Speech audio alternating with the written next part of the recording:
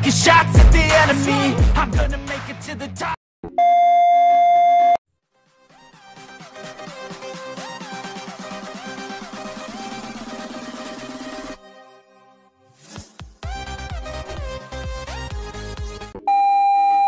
Halo guys, jumpa lagi bersama Pak Kalima TV.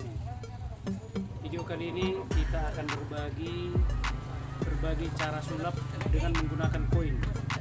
Satu koin menjadi empat koin.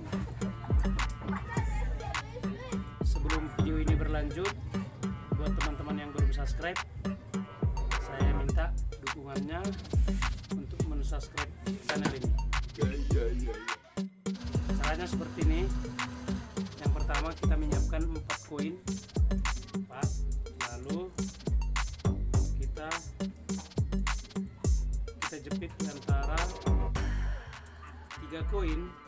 Kita jepit di antara jari jempol dan telunjuk seperti ini. Lalu satu seperti ini.